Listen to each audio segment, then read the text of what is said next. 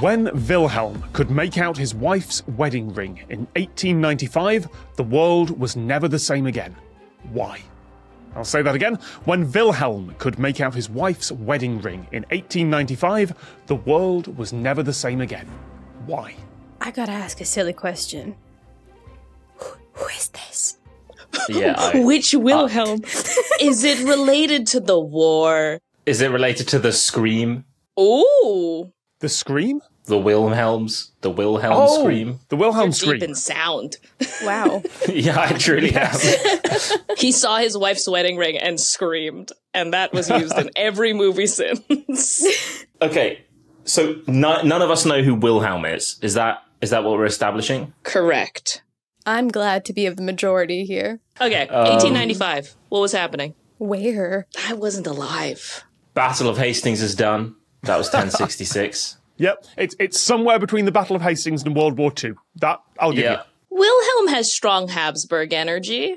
They did stuff. Okay, so if we ignore Wilhelm, maybe Wilhelm is just like old timey name for William, and it's a riddle rather than a historical. Ooh. So just a Will? Just a William? Uh, Willy Helm. I did pronounce it as Wilhelm. it's short for William, actually. Yeah. uh, okay, so I wa- I was thinking like smog, oh, because he can see versus not see. and then or or I was thinking like fog. Glasses. Ah, yes. Yeah, I think that's it, to be honest. I think they invented glasses, and the world was not the same because loads of people who were short sighted had the ability to see further. What does this have to do with a ring, though? It's a small detailed object. Yeah. And you get to look at it, and you're like, wow, was it worth the money? Let me look with the glasses. Tom hasn't interrupted us, so I'm assuming we're wrong because he would have been like, and that's exactly right. I'm not interrupting because you are strangely inching towards the right answer here.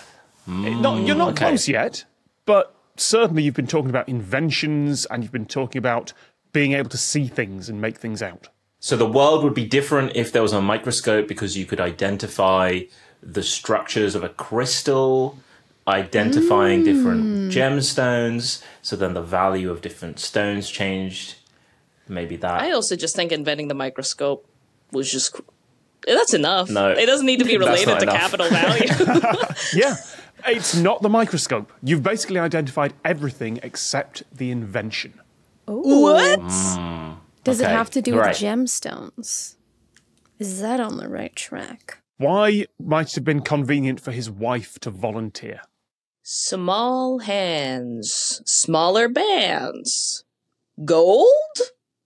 Diamond. I don't know anything about What- wedding rings. What are you? What are you trying to get I at? What assume do we that know it, so okay, far? so I, as somebody who like read a fair bit about the history of glasses and lenses, I do think that it predates 1895. I think people were able to wear glasses before that. Yes, definitely. It probably has to do with like the material structure of the ring.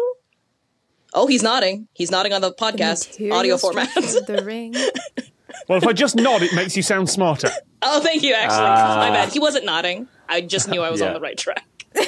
Uh, what's different between a man and a woman's wedding rings? Usually, like a big rock on it. Oh, big. Well, In a this rock. economy? So does it have to do with? But I, we knew that diamonds were good. Bef- we knew that they were hard and good, right? well, what about cubic zirconium? Is, it, is you that think he called? invented the fake diamond? Oh, I thought that was just. To be honest, I thought that was just another stone that looked like a diamond. That moissanite is a fake diamond. Cubic zirconium is different, right? I don't know enough about rocks. My apologies. Yeah, me neither. Uh oh. You're right that he was looking at an image rather than the real thing. When you're talking about microscopes, that sort of thing, it's not a microscope, but it is an invention that certainly reveals something in the same Is way. it an X-ray? X-rays. But what does Spot it have to do with the finger? So, what might Wilhelm have done? Okay, let's madlib this. Let's Mad Lib. Bring- okay. bring it let's, home, let's Melissa. go. Let's go. Let's go. Okay. Popcorn style. He used the X-ray to Look. At guys.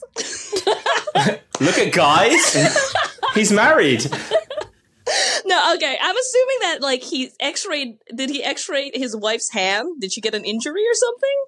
The very first X-ray was the left hand of Wilhelm Röntgen's wife, Anna. That was the very first time there was a ah. successful x ray. So it showed the bones of her hand and the wedding ring completely blacked out. Oh, oh, yeah. That's crazy. Why her hand? But also, imagine to, you say to your significant other, "Hey, I'm working with some really experimental stuff right now. Could be dangerous. Do you want to volunteer your hand?" Well, I mean, for a long time, they didn't realize it was dangerous. Classic. Ah. Danger was invented later. I, I, I'm pretty sure that there would have been other tests first, but the, the first successful x ray of inside the human body, of seeing the bones, uh, was his wife, Anna. Oh. Interesting. There were some early x ray machines that just constantly illuminated a screen. So if you're having, like, your foot measured or your foot analyzed, you would just put it in a beam of x rays and the tube at the other end would glow.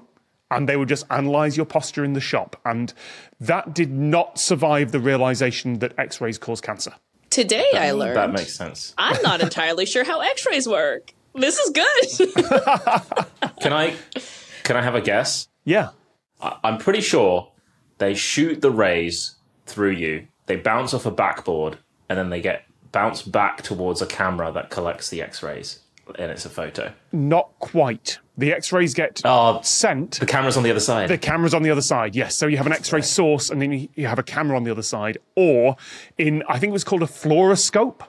You just have something that reacts to X-rays, and you just look at it. And later on, they oh, realise that perhaps cool. cameras might be a better idea. huh. huh. Neat. You learn something new every day.